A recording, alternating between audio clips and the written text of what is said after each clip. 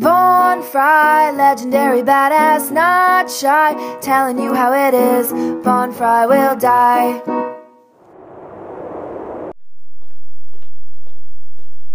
Well, fellas, I'd been avoiding this movie for some time. It's called Gravity. Came out like last fall. And I saw the TV adverts and I thought, what, maybe two hours of Sandra Bullock complaining in space. That's what I thought. And unfortunately, what I thought was going to be bad wasn't as bad as what actually came out.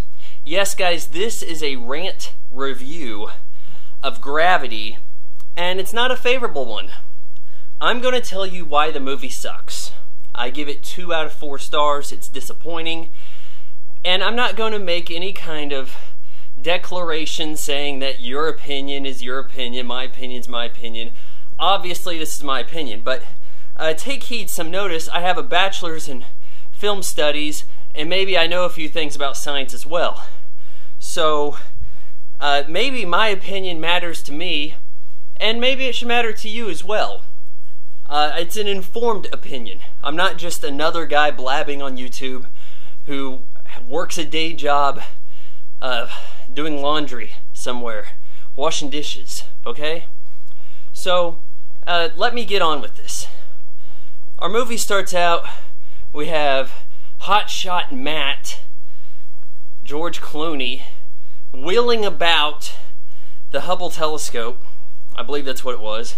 Just wasting uh, gas pressure in his uh, what mobile suit thing. Uh, yeah, don't remember the technical term for that, but he's got the mobility thing going, and he's just wheeling around, even though it has limited fuel. So uh, that's already weird. And he's talking about how he's uh, so pretty and he's a great guy, all this other crap, and here I am now. I'm on like the highest difficulty on the exercise bike, so bear with me. Hopefully, I kill over. And Sandra Bullock's working on it. She's a doctor, not necessarily a, an astronaut per trade. She's a mission specialist working on the telescope. They have a little chat, and then, oh no, we've got uh, some incoming debris from a was it a Chinese satellite or a Russian satellite? I think they said Russian satellite. It got taken out with a missile. So they were taking out possibly a spy satellite. Maybe it was about to hit Earth's orbit and crash. The US has had to do this before too. And it's kind of a measure saying, you guys can launch missiles up there, so can we. And in reality, this chain reaction, this is where the movie, to me, starts on a bad foot. I mean, we've got this interesting sustained shot that for one I and I don't know the dynamics of the background on this. I know it's possible. It can be done with computers. I think it very well was, but we have about 20 minutes of a one sustained shot at the beginning of the movie. I was hoping they were going to stick with that horse. It got you 20 minutes, go longer. I know a lot of it had to be done with computers because once they got inside Sandra's helmet, by the way, her character's name's Ryan. Not that that matters at all. Sandra Bullock is playing the role of Sandra Bullock. This is not really acting. There's no juxtaposition between a calm, regular state, growth as a character. Uh, sure, the one scenario in she had more of a character in Speed, and it's almost the same movie. Because all these movies that are these purported disaster films work so much better when you have build up and suspense. You establish characters, you give a shit, they have some kind of goals in life. This bitch wouldn't be out there in the first place because the only thing we know about her is she has some psychological hang up about the death of her daughter. So she wouldn't have passed the psych evaluation. She didn't act like she had six months or more training. So could they not find somebody qualified? Oh, wait, she looks like Sandra Bullock. Let's get her. So Matt and her are the only two alive when this chain reaction of satellite debris comes flying in, destroying everything around them. It's like bullets flying through the air. And it's completely impossible because, as I said, these missiles go up and destroy satellites, and there's no chain reaction.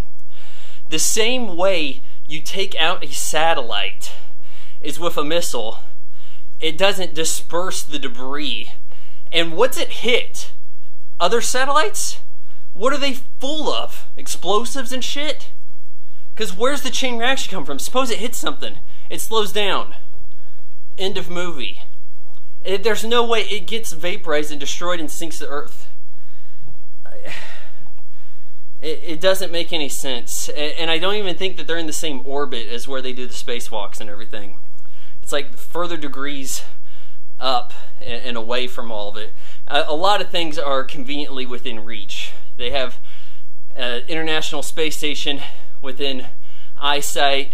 It's been hit by uh, the chain reaction to bullshit. So everybody in there's dead. Um, no, they, this was like a Russian Soyuz capsules. One of them had a chute deployed in the middle of space for God knows why. Another one they had escaped. So this one, it's it can't be used for entry, but they're going to try to pilot it over to the Chinese station. But before they can do that, they have to actually get there. So they have, you know, padded out crawl over to the place. Then they run into some more. Oh no, uh, my grip is so amazing with these gloves. I mean, it's hard to keep a straight face with the like all of a sudden Sandra Bullock is an acrobat in space because there's zero gravity. She can grab onto anything. You know, she's a pro just about. She, at times, she maneuvers through zero G uh, with such effortless precision that you just know she's on wires. And they, so they come crashing into this thing, and all of a sudden, they get caught up in the parachute cords, and Matt is like, "You gotta let go of me." They're, they're holding on to each other. He's like, "You gotta let me go. I'm, I'm pulling you."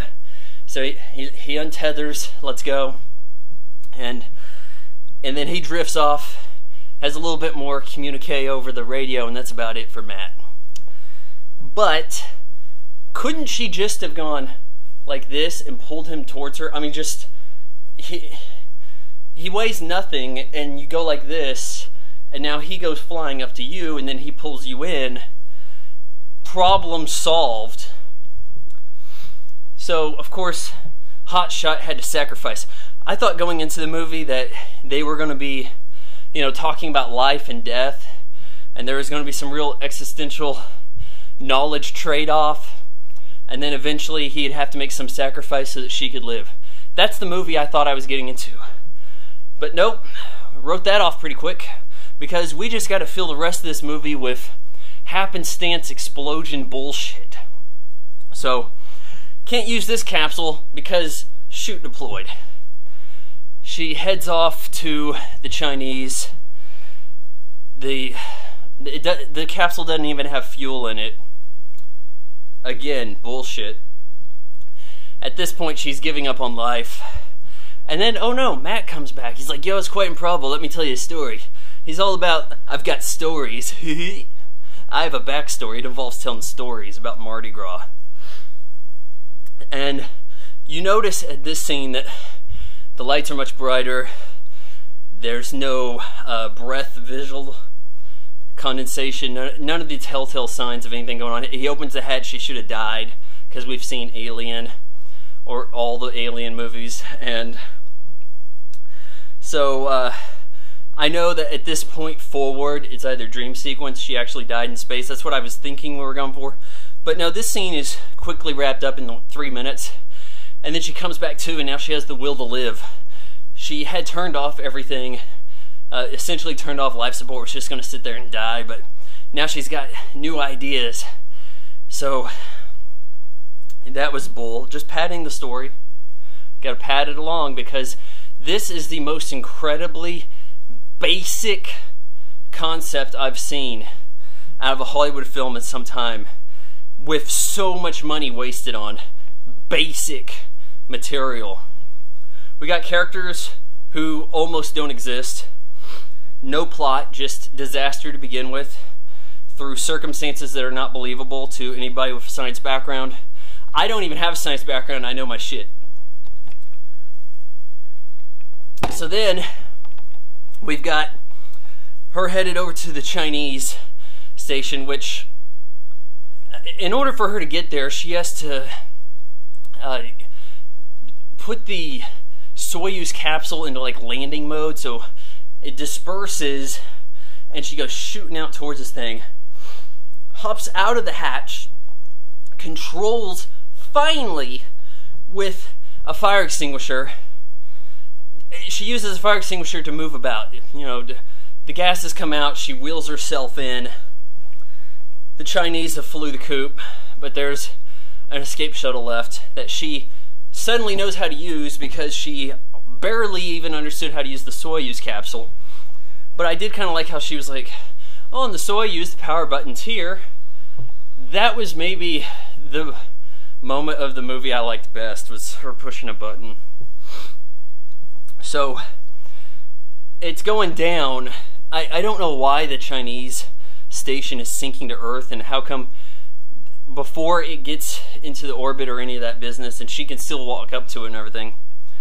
Uh, you know, through not walk, but travel in space. It's got this wind buffering going by, like, you know, Apollo 13 high speed heating up, she's surely dead kind of business. It, it was just bull. Know, th- this is essentially a remake of Apollo 13 with a gross expanding of circumstances a lack of problem solving technique, no building up the characters, no getting to know them in their everyday life to understand how they adjust to this, uh, nothing to make them interesting. You can't give a, you can't even, if you had a sequel, because spoilers, Sandra Bullock lives, where do you go from here? Because she has nothing to do. Her character is, I like to drive because I was driving when I was told my daughter died. Sucks for you, bitch. So she gets back on the, into Earth, you know, the parachute deploys, lands in some shallow ass water in a lake, I imagine, maybe near China, for all I could tell. And she halfway drowns in the process because she thought she could swim in her spacesuit. Which, mind you, when they initially get out of their uh, their their spacewalk uniform, they don't have the other materials with them. Like, probably got some tubes. You know, they ha- they have that like blue uh, flight jacket kind of material. Uh, none of that. No, she's got sexy underwear and gray tank top kind of thing going on. Guys, I was thoroughly disappointed with Gravity. There's very little to talk about other than what you can find wrong with it. There's no enduring quality. I, I'm ashamed that people get so wrapped up in 3D, IMAX, put the two together, space. Now we got Sandra Bullock to appeal to women. Eh, this is a giant ass marketing ploy and it worked. Uh, I don't remember how much this movie made. It was either half a billion or a billion. To me, that's approximately the same value because it's making money. But the masses are so easy to please. They're like, well, it's got a star I know, and well, we like Sandra Bullock. So, well, my wife wants me to go see Gravity. I, I guess I can't say no. It's in space. Uh, it's not science fiction. I don't know when this takes place because they got the Discovery out there. It, we don't use that anymore when it it doesn't matter when this takes place, but it's still not science fiction. It definitely wouldn't be in the future as long as the Democrats are running things. We don't have a real space program. So, I guys, I know that I'm going to get a lot of thumbs down. If if you're giving me a thumbs down, you've already you did it as soon as I started the video. At this point, you're thinking, you know what? Vaughn does know his shit. That's why I've subscribed to him for four years that that would be most of you who have stuck around at this point in the review slash rant. And you probably have some different opinions on gravity, but I hope that I have presented an argument to sway your judgment to my side of the force. The dark, cynical side that sees past the bullshit. That comes out at night and stalks the prey of the filthy bean counters who are ruining cinema. Or something. Do do do do do do do do do do do.